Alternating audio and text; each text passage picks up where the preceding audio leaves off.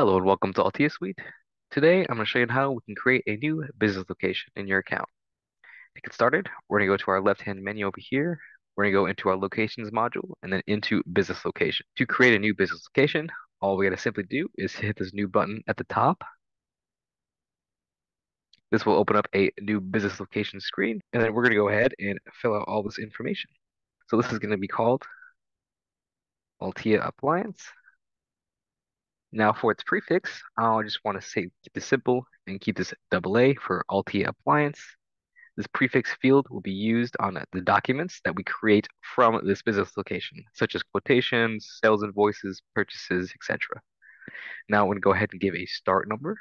So this can be from whatever invoice that you last left off at.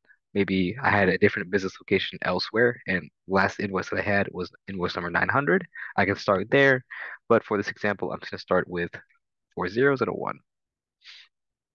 The next field over here, it's an optional field. We have these mandatory fields that have the red asterisk, so we need to have a prefix, and we need a start number, and we need a business location name. Now for the phone number, the phone number will just display underneath of this business location information. So I'm gonna go ahead and give you my, so now I'm gonna go ahead, so now I'm gonna go ahead and give my phone number for my business location. Next field over here is our email field. So maybe I'll put down my appliance at Althea Suite account. This is my email address I want customers to address me from. And then for the e the street address, we just give this, you know, our address information. Maybe this is in Redmond. I'll put my zip code. And then maybe I also want to put a time zone. So I'm in the Pacific time zone. Then maybe I'll put, maybe I'll put the county as well. So there's all my address information, and this will also get displayed underneath of this business location information. Last thing I want to do is associate a tax structure to my business location.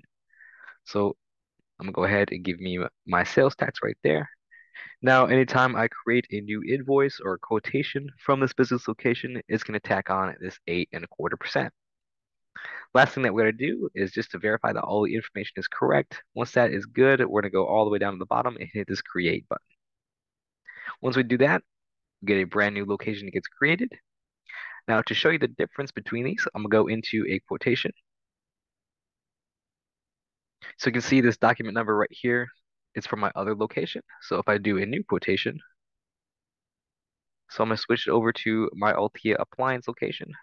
This will change. You can see that prefix right there. And we're starting at my prefix number, my last sequence right there. So 0001 is my first quotation for this business location. So that's the difference between the prefix and your sequence number when it comes to the documents.